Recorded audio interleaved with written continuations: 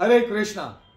आज मैं आपको इंट्रोड्यूस करा रहा हूँ एक हमारे कनाडा बॉय के साथ गुरमीत के साथ। गुरमीत का अभी कनाडा का स्टूडेंट वीज़ा आ गया है। बहुत बहुत मुबारक हो गुरमीत आपको। Thank you sir thank you so much Gurmeet के बहुत एफर्ट्स रहे हैं इस वीज़ा के लिए। इसने बहुत मेहनत करी है इस वीज़ा के लिए। तो आज हम ये समझते हैं कि गुरमीत ने क्या मेहनत करी और इसका क्या प्रोफ़ाइल रहा जिससे कि आप लोग भी अपने प्रोफ़ाइल उस हिसाब से प्लान कर सकते हो कि अगर मेरे को कनाडा जाना है तो मुझे क्या क्या स्टेप्स करने चाहिए और मेरा प्रोफ़ाइल कैसा होना चाहिए कि आराम से वीज़ा मेरा आ जाए। तो हम इनका प्रोफ़ाइल भी समझेंगे और कहाँ कहाँ पर क्या क्या मेहनत करी और कहाँ क्या गलती से बचे वो भी हम लोग आज समझते हैं सबके सब। ओके गुरमीत आप कौन से इनटेक में कनाडा जा रहे हो? मैं विंटर 23 इनटेक में जा रहा हूँ जैन 23 इनटेक मतलब जनवरी 2023 के इनटेक में आप जा रहे हो। हाँ तो गुरमीत आपने अपनी हम प्रोफ़ाइल समझते हैं अब। आपने अपनी टेंथ कब करी है? मैंने अपना टेंथ क्लियर किया था 2017 में सीबीएसई से। 2017 में? हाँ जी। ओके अब यहाँ पर समझिएगा ध्यान से। 2017 में अगर टेंथ करा तो उसके बाद 18, 19, 20, 21, 22 मतलब पाँच साल के बाद का ये इनटेक में जा रहे हैं। तो इन जर्नल क्या होता है कि टेंथ के बाद बच्चा इलेवेंथ करता है फिर ट्वेल्थ करता है कॉलेज का फ़र्स्ट ईयर कॉलेज का सेकेंड ईयर कॉलेज का थर्ड ईयर। तो इस हिसाब से गुरमीत को मास्टर्स प्रोग्राम के लिए जाना चाहिए। क्या गुरमीत आप मास्टर्स प्रोग्राम के लिए जा रहे हो?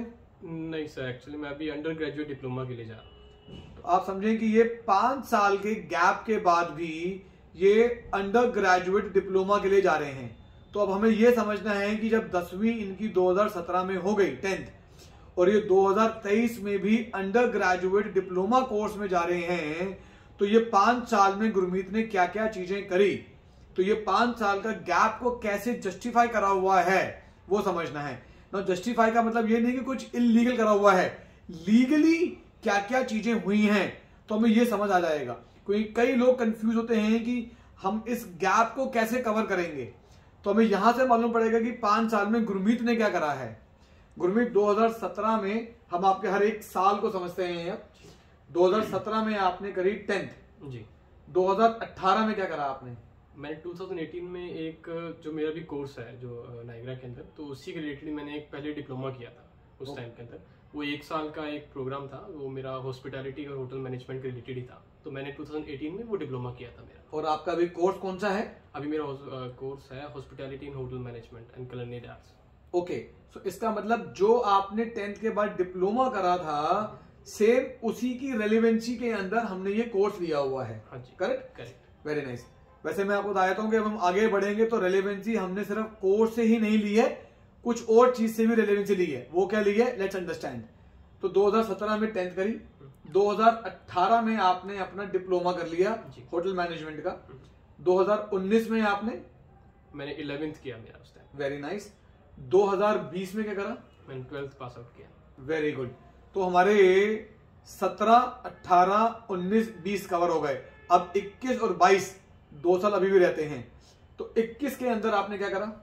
मैं अपनी ट्वेल्थ के बाद मैं एक पार्ट टाइम जॉब के लिए लगा था। फुल टाइम एक तरीके का। तो मैं जॉब कर रहा था इन दिल्ली वेरी नाइस तो जैसे मैंने बताया कि हम लोगों ने जो कोर्स चूज़ करा वो कोर्स सिर्फ़ डिप्लोमा ही नहीं जो ये एक साल की जॉब करी इन्होंने 2021 के अंदर, उस जॉब के अंदर भी हमने इनका एक्सपीरियंस भी शो करा। वो एक्सपीरियंस क्या था? सेम होटल लाइन का ही था। तो उससे क्या हुआ कि होटल लाइन का ही आपने पढ़ाई करी हुई है। होटल लाइन का ही आपका एक्सपीरियंस है और होटल लाइन का ही आप पढ़ने जा रहे हो। तो वो रेलिवेंसी बहुत क्लियर हो जाती है। क्योंकि कनाडा में बहुत लोगों के रिफ्यूजल्स इस वजह से अक्सर आते हैं कि आपकी प्रीवियस एजुकेशन या प्रीवियस एक्सपीरियंस आपकी आने वाली एजुकेशन के साथ मैच हो रही है कि नहीं हो रही? तो यहाँ पे गुरमीत के टेंथ के बाद एक साल का डिप्लोमा भी होटल मैनेजमेंट में रहा। इलेवेंथ ट्वेल्थ के बाद इसका अगेन एक साल का एक्सपीरियंस भी उसी सेम इंडस्ट्री में सेम फ़ील्ड में रहा। तो ये हुआ 2021 2022 में क्या करा आपने? फिर मैंने अपना आयल्स करना स्टार्ट किया, क्योंकि फिर पेरेंट्स ने प्लान किया कि अभी कनाडा जाना ही था तो भी उनका कहा कि चलो टाइम आ गया। फिर मैंने अपना आइल्स करना स्टार्ट किया। तो आपने आइल्स में एक ही बारी में आपका अटेम्प्ट आ गया रिज़ल्ट कैसे हुआ इसका आपका? नहीं एक्चुअली मैंने आइल्स सेकेंड अटेम्प्ट में क्लियर किया।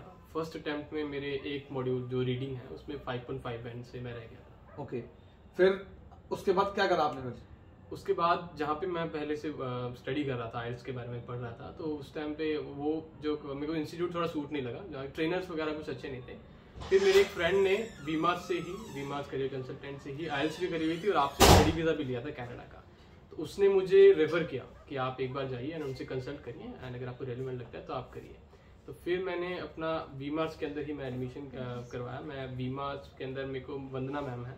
वंदना मैम ने मुझे गाइड किया, उनकी मुझे जो प्रैक्टिस टेस्ट थे, उन्होंने जो मेरे को मतलब जो पढ़ाया तो वो मेरे को बिल्कुल सूट किया। उससे मेरा मतलब जो रीडिंग क्लियर हुआ उसके साथ ही मेरे दूसरे मॉड्यूल्स में भी मैं अच्छा स्कोर अच्छा कर पाया। तो आपके सेकेंड अटेम्प्ट में और फ़र्स्ट अटेम्प्ट में स्कोर में क्या डिफरेंस रहा? मेरा फ़र्स्ट अटेम्प्ट में 5.5 रीडिंग में रह गए थे सेकंड में मेरा वो क्लियर हुआ सबसे पहले। और उसके साथ ही मेरे लिसनिंग के अंदर मेरे को 7.5 बैंड्स मिले। और ओवरऑल कितने हैं आपके ओवरऑल मेरे 6.5 बैंड्स आए। Very nice so I would like to thanks to Vandana ma'am जो हमारी मास्टर ट्रेनर है वंदना मैम उन्होंने इसका रीडिंग भी क्लियर करवाया। लिसनिंग में 7.5 कराए और overall 6.5 so it's it's a very very good score also लेकिन डेफिनेटली यस बच्चे ने पूरी पूरी मेहनत करी है इसके ऊपर। ओके okay, उसके बाद फिर हमने आपका कहना का प्रोसेस शुरू करा। हाँ उसका अपनी जर्नी बताओ कि कैसा रहा आपका हमारे साथ एक्सपीरियंस मेरा बिल्कुल पहली बात से स्टार्टिंग से ही बिल्कुल क्लियर कट रहा। मेरे को जैसे ही मेरा वाइल्स क्लियर हुआ मेरा टीआरएफ आया उसके बाद ही मैंने आपसे ही कंसल्ट किया अमन सर से कंसल्ट किया। एंड uh, आपने मुझे सारा बताया कि कोर्स ये रहेगा। उसके बाद हमने कॉलेज सेलेक्ट किया जो मेरे को रिलेवेंट था आपने वही मुझे दिलवा के दिया। कोर्स हमने सिलेक्ट किया हमने ऑफ़र लेटर अप्लाई किया और बहुत ही स्मूथ प्रोसेस रहा। मैं स्पेशली बीमार टीम को थैंक्स करना चाहता हूँ इस चीज़ के लिए कि आज मेरे स्टडी वीज़ा मेरा मिला है। तो मैं स्पेशली अमन सर की वजह से और सेकंड वंदना मैम की तरफ़ से वजह से ही मुझे स्टडी वीज़ा मिल पाया। मैं अपने आइल्स भी क्लियर किया और मुझे वीज़ा ही मिला इसी चीज़ में थैंक यू अपना वीज़ा दिखाना है बारी। हाँ जी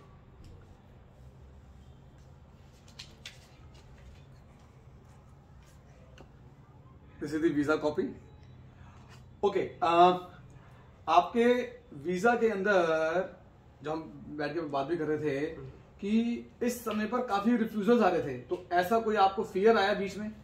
सर फियर एक्चुअली क्या हुआ कि जो मेरे साथ ही थे, जो मेरे मतलब नॉन में फ्रेंड्स थे जिन हमने प्लान किया था एक साथ जाने का बट वो लोग थोड़ा पंजाब साइड के हैं तो उन्होंने अपना एजेंट चूज़ किया था। और कॉलेज हमारा सेम ही था। तो एक्चुअल में हुआ क्या कि उन्होंने मेरे से थोड़ा टाइम पहले अप्लाई किया था।